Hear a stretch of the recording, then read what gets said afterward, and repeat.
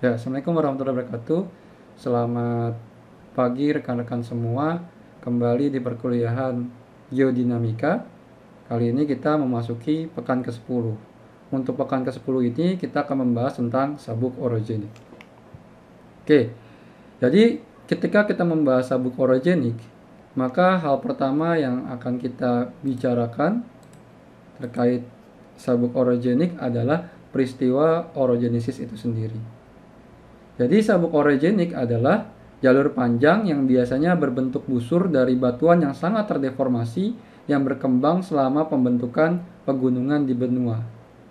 Kemudian ini terjadi pada batas lempeng konvergen, di mana bisa antara samudra dengan benua, samudra dengan samudra, ataupun e, benua dengan benua.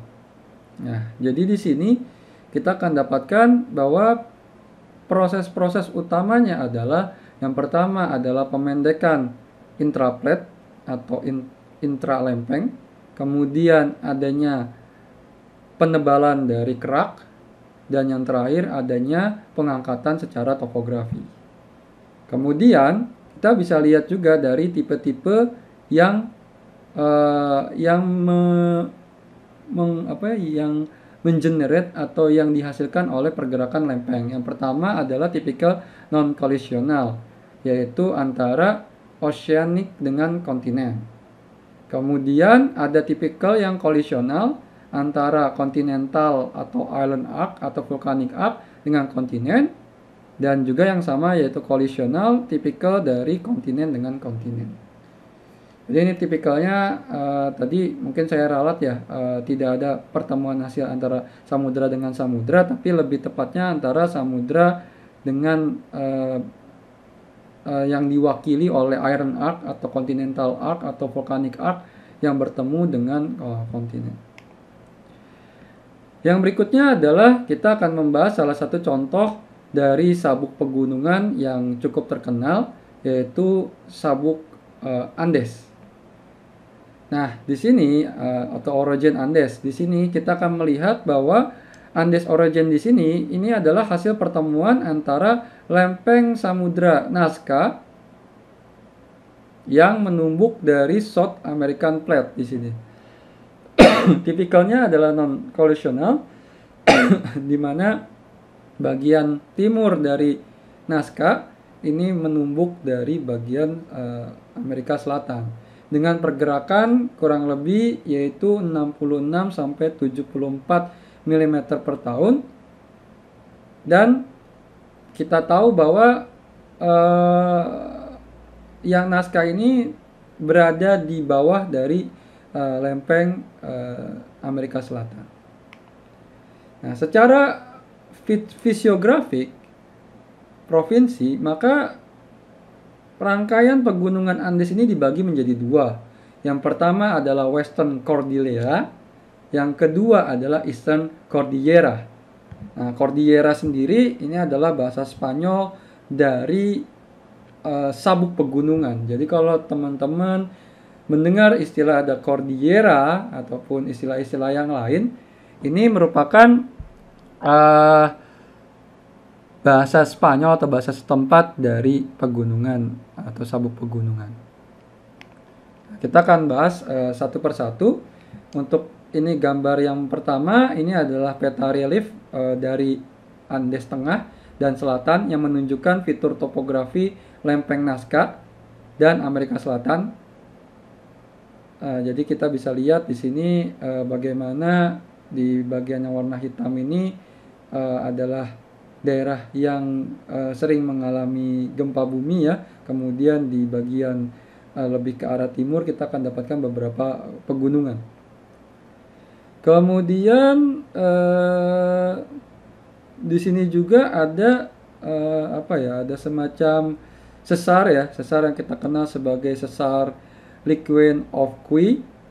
Nah, kemudian kita akan mendapatkan di bagian ini ya penampang melintang antara A dengan A aksen serta B dengan B aksen, kita akan dapatkan sedikit perbedaan. Nah, perbedaannya nanti akan saya bahas di slide berikutnya. Nah, jadi kalau teman-teman lihat bahwa ternyata kita dapatkan tipikal yang berbeda antara bagian utara dengan bagian selatan.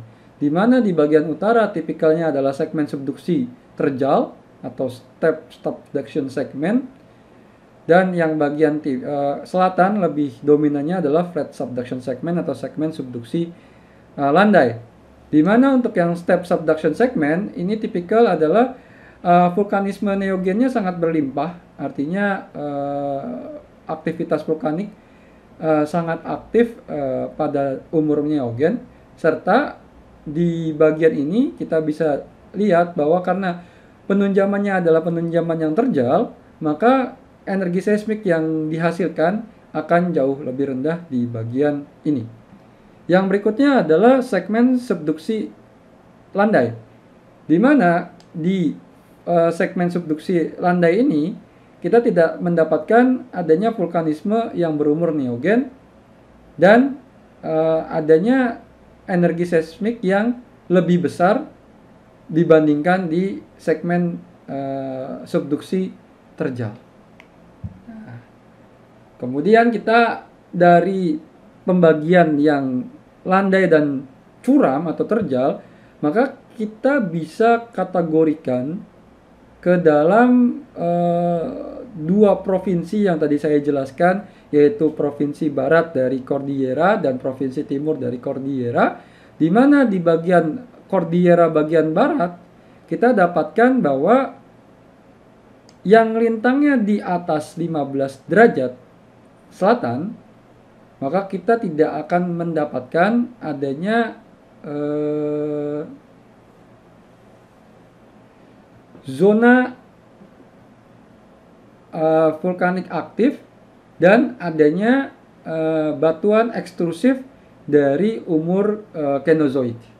Sedangkan yang di bawah dari uh, lintang 15 derajat ini akan mendapatkan adanya uh, busur vulkanik aktif di uh, selatan dari Western Cordillera ini. Jadi Western Cordillera ini kita akan dapatkan di bawah dari 15 derajat dia uh, baru muncul uh, kehadiran dari uh, busur pegunungan api atau busur vulkanik.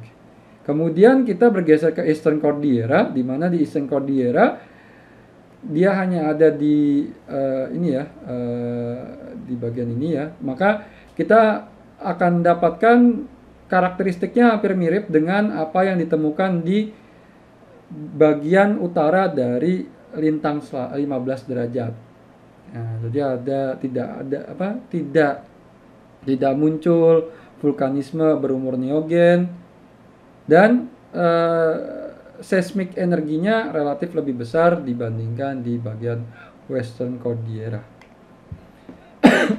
Yang berikutnya adalah bagaimana mekanisme dari orogenik yang bersifat non kolisi.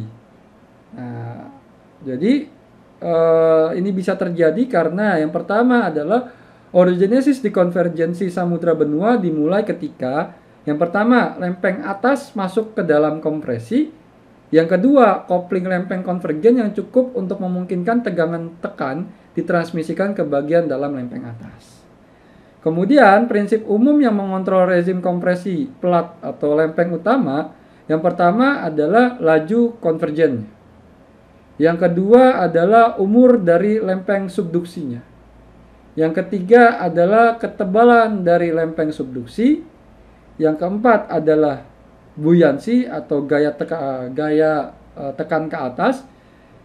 Dan faktor-faktor di atas dapat menjelaskan perbedaan antara subduksi tipe Chili dan tipe Mariana. Tetapi ada beberapa problem atau masalah di orogen Andes ini. Yang pertama adalah sepanjang perbedaan busur dalam struktur dan evolusi, serta faktor sebelumnya yang tidak dapat menjelaskan fenomena ini. Oleh karena itu, ada faktor penting lainnya. Yang pertama adalah kekuatan kopling antar lempeng. Yang kedua adalah struktur internal dan reologi lempeng benua. Nah, ini adalah gambaran dari model viskositas topografi dari palung yang menunjukkan grid mesh dan kondisi batas ini uh, sebelum Masehi Jadi kesetimbangan dinamis palung dikendalikan oleh gaya apung atau buoyancy force yang bersaing dengan tectonic force atau gaya tektonik. Bidang kecepatan diwakili dengan panah yang sebagai referensi. Jadi di sini ada beberapa efek dari kopling uh, antar lempeng pada lempeng atas uh, atau deformasi lempeng atas. Yang pertama ada for arc ya. Ini dilihat dari adanya uh, tekanan buoyancy di atau gaya buoyancy di bagian atas. Kemudian yang nomor dua ini adalah yang kita sebut sebagai back arc atau busur belakang. Dan force balance-nya tadi ya antara buoyancy force dengan tectonic force. Nah, apa maknanya? Nah, jadi kalau seandainya dalam satu kondisi yang dominannya adalah gaya apung atau gaya tekan ke atas, maka antara muka kekuatannya rendah dari lempeng subduksi. Hasilnya, dia bergerak uh, forward ke arah busur muka. Nah, ini ya, tadi hasilnya seperti ini. Nah, kalau yang dominannya adalah tektonik, maka antara muka kekuatannya rendah dari lempeng subduksi. Nah, hasilnya adalah eh, gerakannya lebih ke bawah dari gerakan busur muka. Nah, ini untuk uh, pergerakannya tadi ya. Dari dari domain back arc atau busur belakang, deformasi dikendalikan oleh yang pertama adalah kecepatan dari lempeng kontinen atau lempeng benua. Yang kedua adalah reologi benua itu sendiri. Yang ketiga adalah kekuatan antar kopling atau kekuatan kopling antar lempeng. Di mana kopling kuat akan menghasilkan sejumlah besar kompresi di busur belakang meningkatkan pemendekan dan penebalan kerak.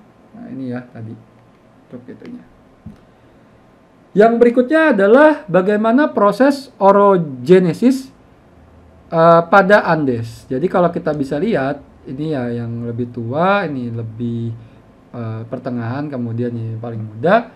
Jadi kita bisa lihat di sini uh, akan ada uh, apa lapisan tipis atau deformasi lapisan tipis di bagian uh, timur ya. Kemudian ada uh, peluruhan dari ini lempeng. Kemudian ada proses delaminasi dari litosfer. Kemudian di umur 17 juta tahun yang lalu nah, proses delaminasi uh, kembali terjadi karena ada peristiwa yang kita kenal sebagai rollback pada palung di sini.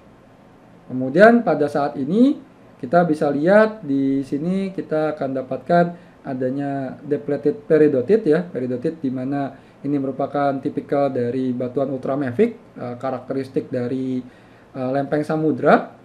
Dan ini adalah uh, uh, fertil dari peridotit artinya peridotitnya masih bisa berkembang di uh, di bawah ini. Sedangkan kita tahu bahwa uh, setelah periodotit kita akan ketemukan batuan mafic ya sebagai karakteristik dari uh, lempeng samudera juga yang kita dapatkan dalam bentuk gabro. Dan ini adalah penggambaran penampang lintang skala litosfer dari Andes Tengah pada garis lintang 18 sampai 20 derajat uh, selatan menunjukkan interpretasi struktur kerak dan mantel Uh, dengan kecepatan gelombang P mantel atas yang cepat. Nah ini ya, ini yang uh, bagian keras ini. Kemudian kecepatan gelombang P yang lambat. Nah ini yang warna uh, putih ya. Dan abu-abu. Uh, Ditampilkan. Kemudian gelombang putih, zona kecepatan rendah kerak, dan penampang melintang menunjukkan lembaran dorong basement di bawah Cordillera Timur. Batuan penutup berwarna putih dan bintang warna putih ini adalah stasiun perekam data. Jadi kita bisa lihat bahwa inilah produk dari uh, cekungan sedimen hasil dari kompresi. Kompresi itu artinya uh, dia saling menekan ya uh, dan uh, cekungannya akan didapatkan ada yang tipikalnya adalah yang uh, lebih lemah ya sehingga tidak muncul struktur di bagian tersebut tapi yang dia mengalami uh, flexure yang lebih kuat maka kita akan dapatkan beberapa struktur-struktur penyerta di bagian tersebut. Nah, ini adalah penggambaran bagaimana uh, implikasi dari tektonik lempeng yang terjadi. Maka kita bisa lihat di sini ya. uh, ini adalah penggambaran bagaimana ini adalah data dari uh, muka air laut ya, muka air laut. uh, ini berarti ketika si levelnya uh, apa dia ini low berarti uh, ada kemungkinan uh, dia mengalami uh, apa uh, penurunan muka air laut dan ini peningkatan air laut dan bisa ditambahkan dengan uh, adanya ini ya uh, apa rasio dari magnesium terhadap kalsium uh, serta adanya kandungan kalsit dan aragonit di mana ketika uh, si level drop maka dominannya adalah aragonit plus high Mg kalsit. Sedangkan ketika si level uh, apa si levelnya naik maka dominannya adalah uh, kalsit. Terakhir ini adalah uh, penggambaran bagaimana uh, tektonik lempeng uh, terjadi ini adalah bagian dari lempeng samudra di mana dari bagian lempeng samudra tersebut kita akan dapatkan deposit tipikal mineral sulfit uh, yang dari oceanic ini adalah tipe Cyprus yang uh, transportasi di kerak samudra. Kemudian ada yang kita kenal adalah zona Melans. Kemudian ini bagian yang kita kenal sebagai outer arc. Kemudian ini adalah arc atau busurnya dan ini kita ketemukan sebagai cekungan di mana ketika cekungannya itu di belakang dari busur maka kita dapatkan ini adalah tipikal dari back arc basin. Oke, mungkin demikian untuk uh, hari ini. Sekian dari saya, kurang lebihnya mohon maaf. Demikian dari saya, kurang lebihnya mohon maaf. Walau Assalamualaikum warahmatullahi wabarakatuh. Selamat pagi, sampai ketemu di uh, chapter ataupun di pembahasan selanjutnya. Terima kasih.